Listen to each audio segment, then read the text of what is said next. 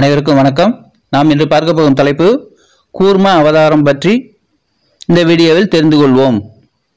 நமது நல்லதை மட்டும் சொல்வோம் சேனலை சப்ஸ்கிரைப் செய்து கொள்ளவும் அருகிலுள்ள பெல் பட்டனை அழுத்தவும். அப்பொழுதுதான் நாம் போடும் பயனுள்ள வீடியோக்களை உடனுக்குடன் பார்க்க இயலும். வாங்க வீடியோவுக்கு செல்வோம். ஸ்ரீ விஷ்ணு புராண கதைகள் பாகம் பதினான்கு. ஸ்ரீ கூர்மாவதாரம். சென்ற பாகத்திலே நாம் பார்த்தது துர்வாச மகரிஷி எப்படி பலவித தர்மங்களை நமக்கு காண்பித்து கொடுத்தார் அப்படிங்கிறது. இந்திரனுக்கு துர்வாச மகரிஷினால ஒரு சாபம் நேர்ந்தது.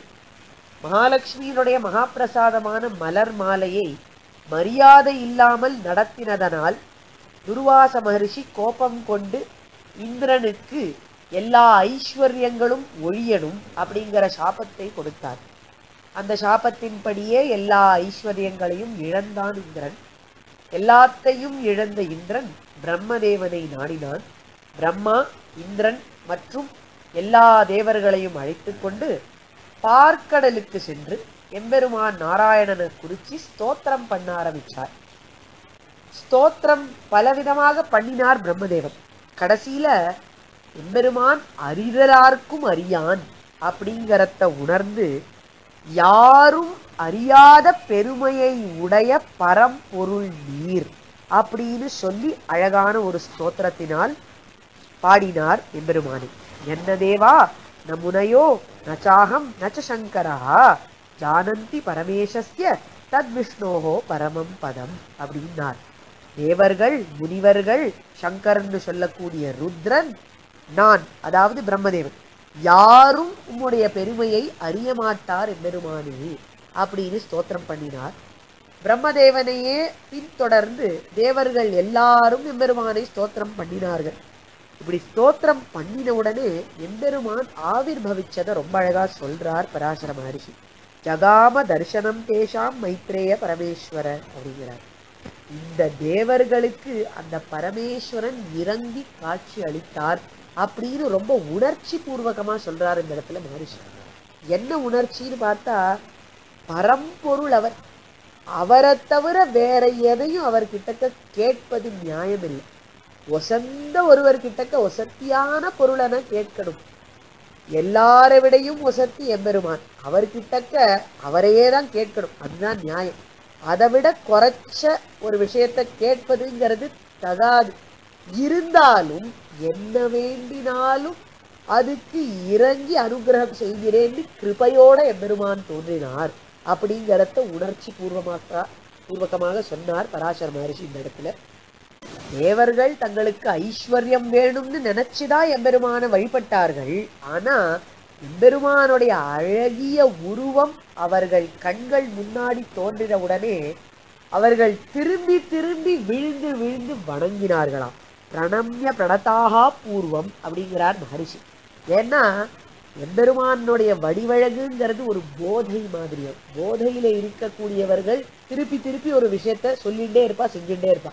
அந்த மாதிரி இவர்களுக்கு எம்பெருமானுடைய அழகாகிற போதையானது ஏறி போச்சாம். திருப்பி திருப்பி சேவிக்கிறார்களாம்.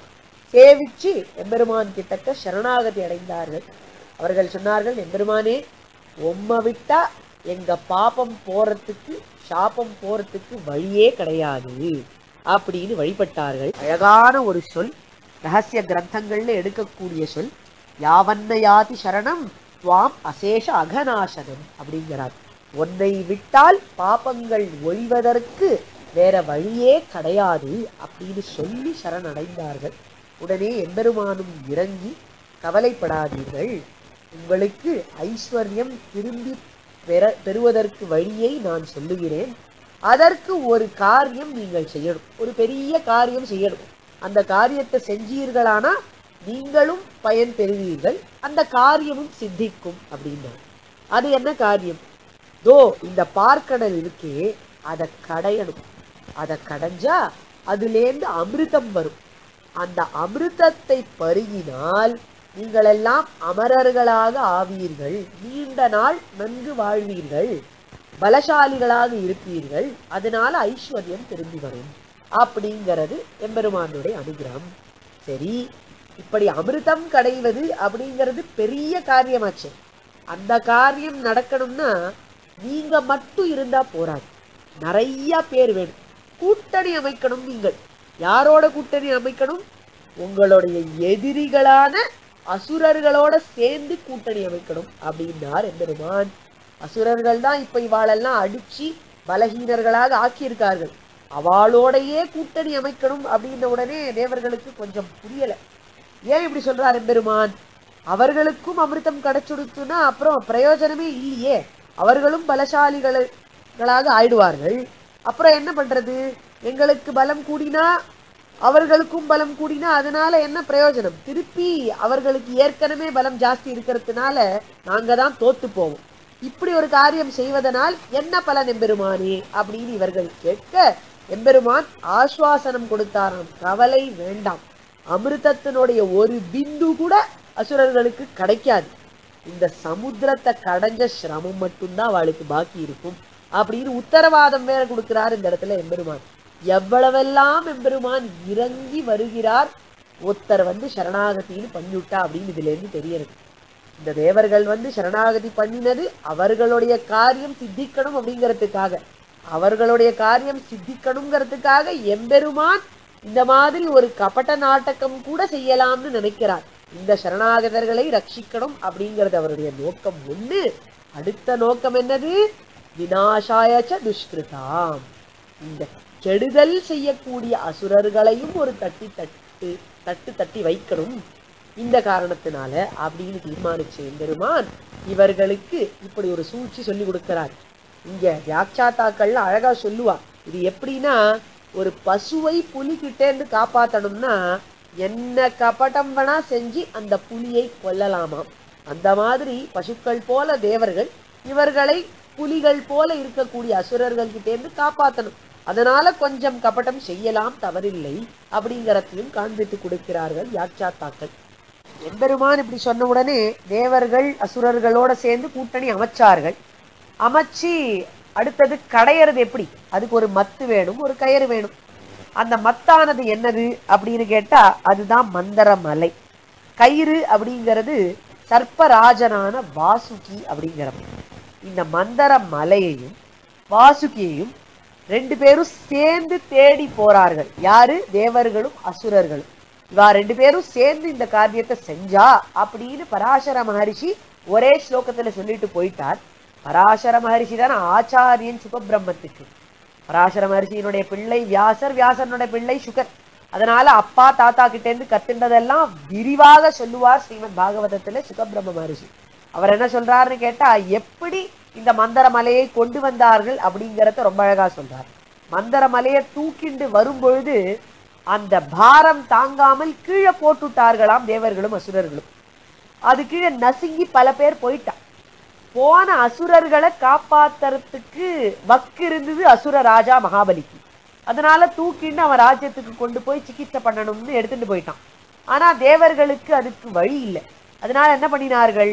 எம்பெருமான் நாராயணன்னு நினைச்சிட்டார்கள் எம்பெருமான் இவர்களை ரட்சிக்கிறேன்னு சொல்லியிருக்கானே ஓடி வந்துட்டான். கருடன் மேல ஓடி வந்துட்டானாம். இவர்களையெல்லாம் ஒரு பார்வை பார்த்து ரட்சிச்சானாம். அமிர்தமாகிற எம்பெருமானுடைய கட்டாட்சத்தினால தேவர்கள் எல்லாரும் பிழைத்தார்களாம். இது மட்டும் இல்ல இனி இந்த மந்திர மலையை தூக்கி நீங்க கஷ்டப்பட வேண்டாம் அப்படின்னு சொல்லி கருடன் மேல அந்த மலையை ஏத்தி கருடனையே கொண்டு சேர்க்க சொன்னார் பார்க்கடல்ல. கருடனும் அப்படி கொண்டு போய் சேர்த்து இறக்கி வச்சாராம் அந்த மலையை. வாசுகியும் வந்து சேர்ந்தார். ரெண்டு பேரும் சேர்ந்து இப்ப கடையணும். கடையணுங்கிறச்சே யாரு எந்த பக்கத்துல கடையணும்? அப்படிங்கறதையும் எம்பெருமான் தானே நியுக்தம் பண்ணினார். அவரே தீர்மானிச்சார் அப்படின்னு சொல்றார் பராசர மகரிஷி. அதை எப்படி தீர்மானிச்சார் அப்படின்னு விவரமாக சுகபிரம மகரிஷி சொல்றார். என்ன ஆச்சா இந்த தலை பக்கம் தேவர்கள்லாம் கடையலாம் அப்படின்னு முதல்ல சொல்லிவிட்டார் எம்பெருமான். இதை கேட்ட உடனே அசுரர்களுக்கு கோபம் வந்துடுது அது எப்படி எங்களை ஒரு பாம்புனுடைய வாழை போய் நீங்க தொட சொல்லுவேன்? அது அமங்கலமானது. நாங்க பாம்புனுடைய வாலை தொடமாட்டோம். நாங்க தலைப்பக்கம் தான் பிடிச்சிப்போம் அப்படின்னு அடம் பிடிச்சி அவளே போனாலாம் அந்த பக்கம். எம்பெருமான் இந்த இடத்துலயும் அழகா ஒரு விஷமம் பண்ணி வச்சிருக்கார். என்னது அது? என்னன்னு பார்த்தா வாசுகியினுடைய தலைப்பக்கத்திலேருந்து விஷம் வரப்போறது அந்த விஷத்தை கக்கினா பல பேர் மாண்டு போவார்கள். அப்படி மாண்டு போகக்கூடியவர்கள் அசுரர்களாக இருக்கட்டும் அப்படிங்கிறதுக்காக எம்பெருமான் இந்த ஏற்பாட்டை பண்ணி வச்சிருக்கார். இது அசுரர்கள் கிட்டக்க நேர போய் சொன்னா அவ ஒத்துக்க மாட்டா. அதனால இப்படி ஒரு நாடகம் பண்ணி தான் போய் தேவர்களுக்கு சப்போர்ட்டா நிக்கிற மாதிரி தலைப்பக்கம் பிடிச்சுக்கோங்கன்னு சொல்ல அசுரர்கள் தலைப்பக்கத்தை போய் பிடிச்சிட்டார்கள். இதுதான் எம்பெருமானுக்கு வேடு இப்படி ஆச்சு. ரெண்டு பேரும் ரெண்டு பக்கம் பிடிச்சு நடைய ஆரம்பிச்சா நடைய ஆரம்பிச்சா என்ன ஆச்சுன்னு கேட்டா இப்படி போய் வழிக்கிண்டு அந்த மலை கீழே போச்சு. மலை ஏன் வழிக்கிண்டு கீழே போகணும். ஏன்னா மலைக்கு கீழே பல ஓஷதிகளை கொண்டு போட்டிருக்கார்கள் இந்த தேவர்களும் அசுரர்களும். நிறைய மூலிகைகள்லாம் போட்டிருக்கா. அந்த மூலிகை இலையெல்லாம் வழுக்கிறது. பாரம் தாங்காம அழுந்தி உள்ள போறது. இந்த மூலிகைகள்லாம் கொண்டு வந்து போட்டதுனால தான் நீளமா தெரியறதான் கடல் அந்த இடத்துல. ஆழ்வார் நீலக்கடல் கடைந்தாய் அப்படின்னு சொல்லுவார். அந்த மூலிகையினுடைய நிறத்தினால நீளமா மாறிடுதான் அந்த இடத்துல கடல். அப்படி மூலிகையினால வழுக்கிறது அழுந்துறது இந்த மலையானது கடலுக்குள்ள போயிட்டு இருக்கு இப்போ இதை தாங்கி பிடிக்கிறது. அதுக்கு ஒரு ஆதாரமா இருக்கிறது. அதுக்கு எம்பெருமான் ஒரு அவதாரம் பண்ணலான்னு தீர்மானிச்சார். என்ன அவதாரம் பண்ணினார்? கூர்மாவதாரத்தை பண்ணினார். கூர்மத்துக்கு தான் மேல ஒரு ஓடு மாதிரி இருக்கும். அந்த ஓடு மாதிரி இருக்கிறது ஆதாரமாக அமையுமா அப்படி அமைஞ்சுதான் அதை அழகா பராசர மகரிஷி சொல்றார். क्षीरोदमध्ये भगवान् பகவான் கூர்மரூபி हरिः। ஹரிஹி மந்தனாத்ரேரதிஷ்டானம் பிரமதோ பூன் மகாமுனே அதிஷ்டானமாக ஆதாரமாக கூர்மரூபியாக ஸ்வயம் எம்பெருமான் ஹரி பரமபுருஷன் வந்து தோன்றினான். அப்படின்னு அழகா ஒரே ஸ்லோகத்துல கூர்மாவதாரத்தை போட்டார். இதிலேந்து பலவிதமான அனுபவங்கள் ஆழ்வார்களுக்கும் ஆச்சாரியர்களுக்கும் வந்திருக்கு. பராசர மரிசி போட்ட இந்த ஒரு ஸ்லோகத்துக்கு வியாக்கியானமா பல அழகிய கதைகள் வியாக்கியானங்கள் உண்டு. ஆழ்வார் அனுபவிக்கிறார் ஹரி அப்படின்னு சொல்லிவிட்டார் இந்த இடத்துல மகரிஷி. ஹரி அப்படிங்கிறவருக்கு ஹிரண்ய கேசங்கள் இருக்குமா? அதனால ஆமையான கேசவா அப்படின்னு ஆழ்வார் அந்த ஆமைக்கு கேசங்கள் இருந்த அழகை அனுபவித்தார். சுகபிரம மகரிஷி பார்த்தார் கூர்ம ரூபீன்னு சொன்னாரே பராசர மகரிஷி. அதை எப்படி வர்ணிக்கிறது? அந்த கூர்ம ரூபம் எப்படி இருந்தது? அப்படின்னு கேட்டா அவர் சொல்றார் காட்சபம் அத்புதம் மகத்வபுகு அப்படிங்கிறார்.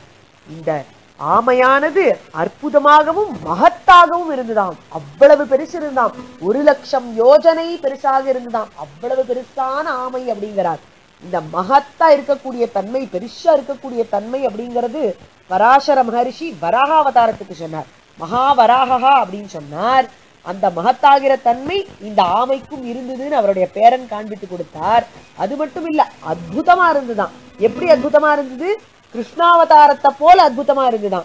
அத்தம் அத்புதம் பாலகம்னு சுகபிரம மரிஷி கிருஷ்ணாவதாரத்தை சொல்லும் பொழுது சொன்னார். அந்த அத்புத தன்மையும் மகத்தாகிற வராகாவதாரத்தினுடைய தன்மையும் சேர்ந்து இருந்துதான் இந்த ஆமையாகிற அவதாரத்துல அப்படின்னு கொண்டாடி பாடுறார். இதுக்கெல்லாம் மேல சுவாமி தேசிகன் அழகா அனுபவிச்சார். இந்த கூர்மரூபி ஸ்வயம் ஹரிஹி அப்படின்னு சொன்னாரே அது என்னது? கூர்ம ரூபத்தை கொண்டு ஸ்வயம் பரமபுருஷன் வந்தார் அப்படிங்கிறது தானே? அதை அப்படியே ஸ்லோகமாக்கி போடுவோம் அப்படின்னு சொல்லி நித்ராணஸ்ய பரஸ்ய கூர்ம வபுஷா அப்படின்னு போட்டார். பரஸ்ய அந்த பரம்பொருள் கூர்ம ரூபமாக வந்தது அப்படிங்கிறதையும் சுவாமி தேசிகன் அழகாக பராசர மகர்ஷியை பின்பற்றி போட்டார். அதுக்கு மேல அழகான ஒரு அனுபவத்தை சொல்றார். இந்த கூர்மாவதாரத்தினுடைய முதுகு இருக்கே அதை வந்து மந்தர மலை அப்படிங்கிறது சொரிஞ்சு விடுற மாதிரி இருக்கான் ஏன்னா அது கடையும் பொழுது இப்படியும் அப்படியும் ஆடுறது. அதனால அது அப்படியே முதுக நன்னா தடவி சொரிஞ்சு விடுற மாதிரி இருக்கான் அப்படி பண்ணினா என்ன ஆகும்? நன்னா தூக்கம் வரும். தூக்கம் வந்து எம்பெருமான் கொரட்டை விடுறாராம். அவர் விடுற கொரட்டையானது இங்கேயும் அங்கேயும் பரவி அது நம்மளை காப்பாற்றட்டும் அப்படிங்கிறார். அவ்யாசுகு நம்மளை காப்பாற்றட்டும் அப்படிங்கிறார் சுவாமி. பொதுவா யாரு நம்மளை காப்பாத்துவா? யாரு நமக்கெல்லாம் அடிப்படையாக இருக்காரோ அவர் தான் நம்மளை காப்பாத்துவார். யார் நமக்கு ஆதாரமாக இருக்காரோ அவர்தான் காப்பாத்துவார். அதுதான் இங்க மகரிஷி அதிர்ஷ்டானம்னு சொல்லியிருக்கார். நமக்கு ஆதாரமா தோன்றினவர் கூர்மரூபியான எம்பெருமான். அப்படி ஆதாரமா இருக்கிறதுனால நமக்கும் ஆதாரமாக இருந்து அவர் நம்மளை காப்பாற்றட்டும் அப்படிங்கிறத பராசர மகரிஷி சொன்ன இந்த தாத்துலேருந்து டெவலப் பண்ணி சுவாமி தேசிகன் கவி சிம்மமானத்தினால அழகான ஒரு ஸ்லோகத்தையும் அமைச்சிருக்கார். அப்பேற்பட்ட அழகிய இந்த கூர்மாவதாரத்தில் எம்பெருமான வழிபட்டு இந்த பாகத்தை முடித்து கொள்ளலாம். மேலே அடுத்த பாகத்தில் இந்த கதையானது தொடர்ந்து நடக்கும்.